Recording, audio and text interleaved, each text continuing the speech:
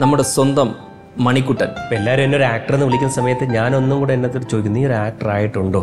കാരണം ഞാൻ എന്നത്തിന് ഒരു ആക്ടിങ് സ്റ്റുഡന്റ് ആയിട്ടാണ് കണക്കാക്കുന്നത്. കാരണം അപ്പോൾ കൊച്ചുണ്ണി സമീപിച്ച സമയത്ത് അങ്ങനെ യാതൊരു വിധ ഭയങ്കര സംഭവമാവണം ഭയങ്കരമായിട്ട് അഭിനയിക്കണം അങ്ങനെ ഇരുന്നില്ല. അങ്ങ് ചെന്ന് അവരുടെ കൂടെ അങ്ങ് ചെയ്തു.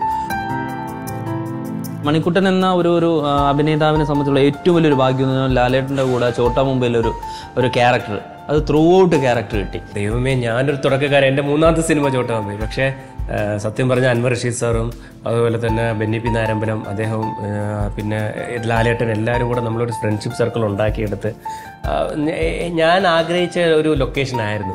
ജീവിതത്തിൽ കിട്ടിയ ഒരു അവാർഡ് പോലുള്ള ഒരു ലൊക്കേഷൻ സത്യം സത്യം സത്യം.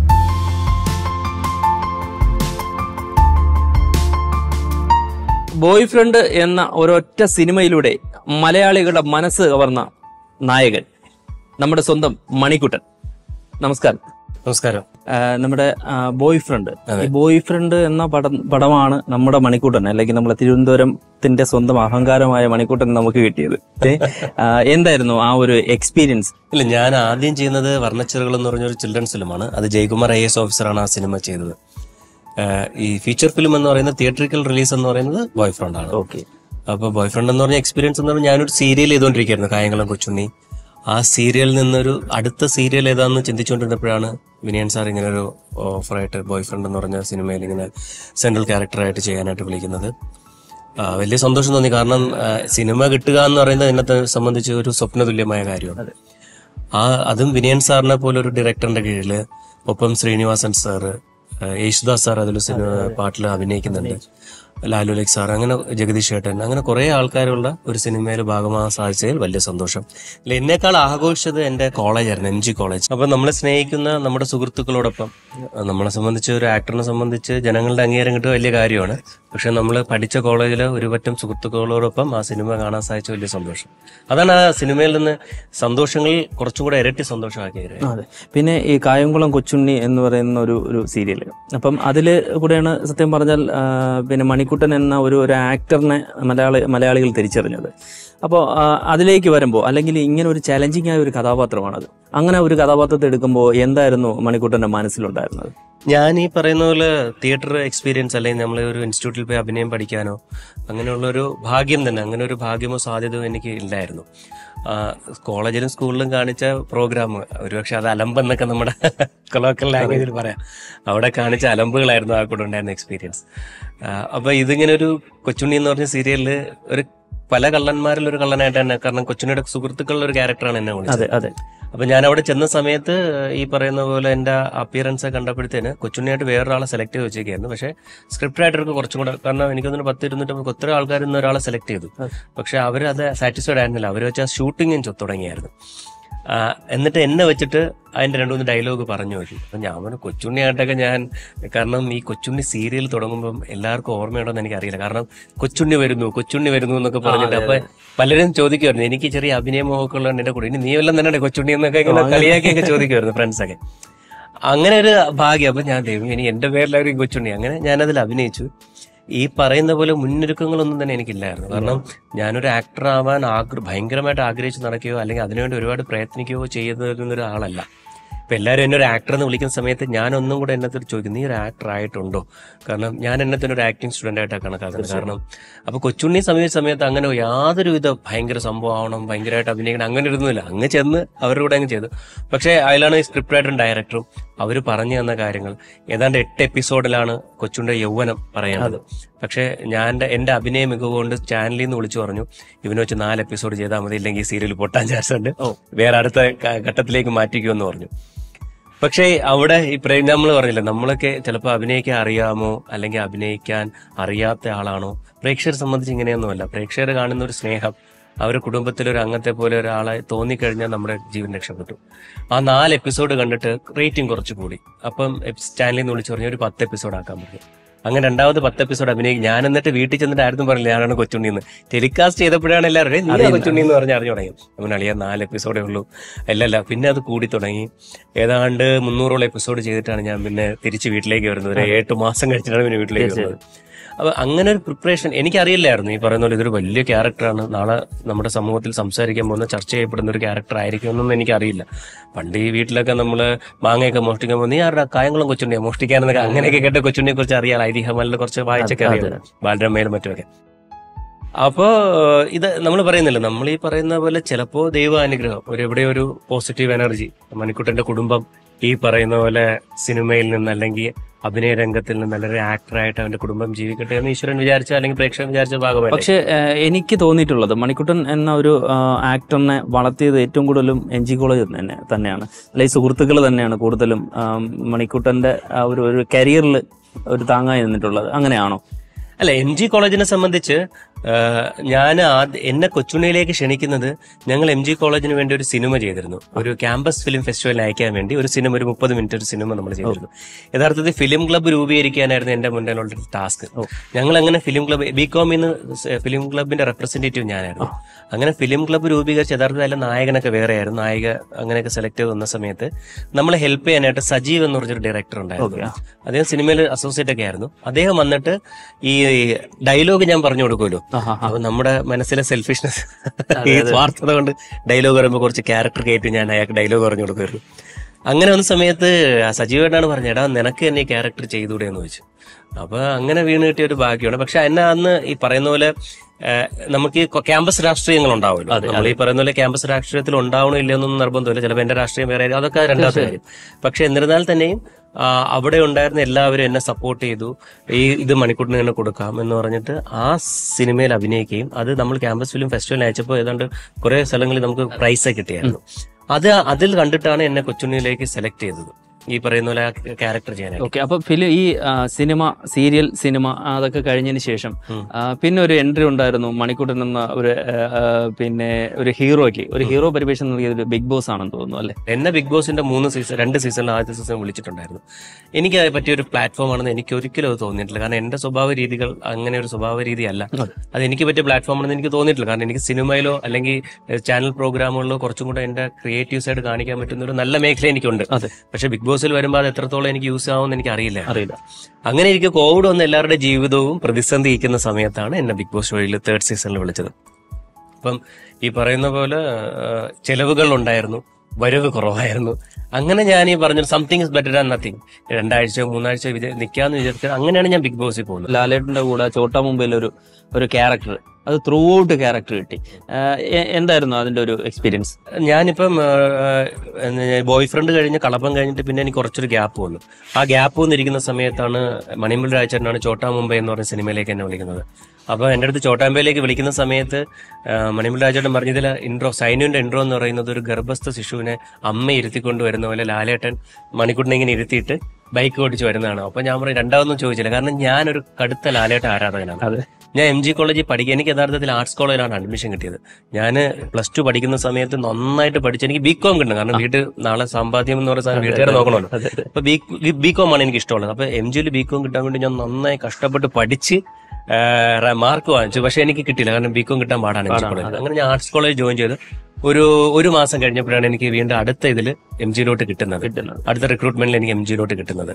അപ്പൊ ഈ പറയുന്ന പോലെ ഞാൻ ആപ്ലിക്കേഷൻ അവിടെ ചെന്ന് കയറി ഞാൻ എന്നിട്ട് കയറിയിട്ട് എം ജി കോളേജിൽ കയറിട്ടോ ഞാൻ എന്റെ ലാലേട്ടൻ പഠിച്ച കോളേജിൽ കയറി അപ്പൊ അത്രത്തോളം ലാലേട്ടൻ ആരാധിക്കുന്ന ആ സമയത്ത് ലാലേട്ടൻ പഠിച്ച കോളേജിൽ പഠിക്കണം. അങ്ങനെ ഒരു ആരാധനപരമായിട്ടാണ്. അപ്പൊ അത്രത്തോളം ആരാധന നിങ്ങൾക്ക് അറിയാമല്ലോ അതെ. അങ്ങനെ ഇരിക്കുമ്പോഴാണ് ഈ ചോട്ടാമ്പി എന്ന സിനിമയെ വിളിക്കുന്നത്. ഞാൻ അവിടെ ചെല്ലുമ്പോൾ കുറച്ച് ടെൻസിലായിരുന്നു. കാരണം എന്റെ കൂടെ അഭിനയിക്കുന്ന ലാൽ സാർ സിദ്ദീഖ അതുപോലെ മണിമുൽ രാജ് ചേട്ടൻ ജഗതി ചേട്ടൻ. എല്ലാവരും സീനിയർ സീനിയർ ആക്ടേഴ്സ് ആണ്. രാജൻ പി ദേവ് അങ്കിൾ അതുപോലെ ഭാവന. ദൈവമേ ഞാനൊരു തുടക്കക്കാരൻ. എന്റെ മൂന്നാമത്തെ സിനിമ ചോട്ടാമ്പി പക്ഷെ സത്യം പറഞ്ഞ അൻവർ റഷീദ് സാറും അതുപോലെ തന്നെ ബെന്നി പി നാരമ്പലം അദ്ദേഹവും പിന്നെ ലാലേട്ടൻ എല്ലാവരും കൂടെ നമ്മളൊരു ഫ്രണ്ട്ഷിപ്പ് സർക്കിൾ ഉണ്ടാക്കിയെടുത്ത് ഞാൻ ആഗ്രഹിച്ച ഒരു ലൊക്കേഷൻ ആയിരുന്നു. ജീവിതത്തിൽ കിട്ടിയ ഒരു അവാർഡ് പോലുള്ള ഒരു ലൊക്കേഷൻ സത്യം സത്യം പിന്നെ ഫാമിലി നമ്മുടെ ഫാമിലിയെ കുറിച്ച് ഇപ്പം ഞാൻ അച്ഛനും അമ്മയാണ്. ട്രിവാൻഡ്രത്താണ്. ഇപ്പം ഞാൻ ഒറ്റയ്ക്ക് ഇപ്പം ഈ പറയുന്ന പോലെ എറണാകുളത്തോട്ട് മാറിക്കൊണ്ടിരിക്കുകയാണ്. ആ, പപ്പയും അമ്മയും ചേച്ചിമാരോടെയാണ് രണ്ട് സഹോദരിയുണ്ട് അവർ മാരീഡാണ് ആണ്. പിന്നെ ഞങ്ങളുടെ മക്കളും ചേച്ചിമാരുടെ മക്കളും എല്ലാവരും അങ്ങനെ പോകുന്നത്ര അപ്പം അടുത്ത ചോദ്യം എന്താണെന്ന് ഊഹിക്കാം. അല്ലെ? ഞാനായിട്ട് എന്തിനാ എന്തിനാ ചോദിക്കുന്നത് വിവാഹ എല്ലാരും ഒന്ന് ഒന്ന് പറഞ്ഞേരെ. കേരളത്തിലെ ആഭ്യന്തര പ്രശ്നമായിക്കൊണ്ടിരിക്കുന്ന വിവാഹം. മണിക്കൂട്ടിന്റെ ഈ നമ്മൾ ഈ പറയുന്ന പോലെ വിവാഹം വന്നു ചേരട്ടെ എന്നുള്ള ചിന്തയാണ്. ഇപ്പൊ എന്റെ കൂടെയുള്ള പല സുഹൃത്തുക്കൾ വിവാഹം കഴിഞ്ഞു. അവർ ഭാഗ്യവാന്മാര് ഭാഗ്യവതികൾ. കഴിഞ്ഞവർ ഭാഗ്യവാന്മാരാണെന്ന് അതാണ് ഞാൻ കഴിഞ്ഞവർ ഭാഗ്യവാന്മാർ.